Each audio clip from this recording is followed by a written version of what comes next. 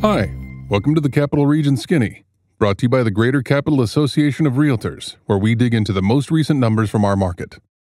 The economy is improving, unemployment is falling, and the U.S. real estate market remains strong as we head into the holiday season, a period when activity typically slows as people take time to travel, celebrate, and spend time with loved ones.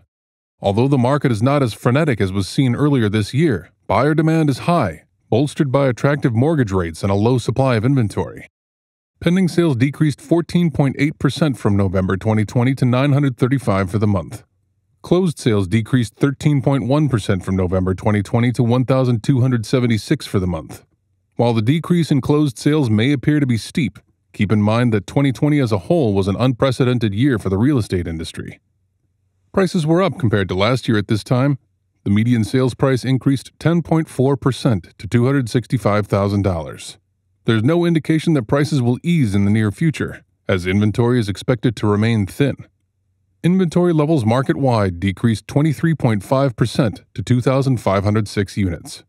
Inventory continues to trend downward, as has been the case for quite some time, as current homeowners are quite comfortable in their current homes. Month supply of inventory was down 22.2% since last year at 2.1 months. Percent of original list price received at sale rose to 98.8% since last year.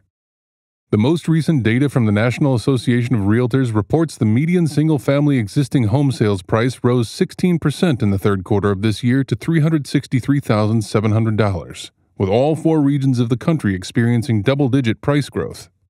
In new construction, builder confidence increased in November, surpassing analyst expectations and rising to 83 on the National Association of Home Builders Wells Fargo Housing Market Index, the highest level since spring, despite persistent labor and supply chain challenges and a shortage of available lots. That's the Capital Region Skinny for this month. Check back next month for the latest.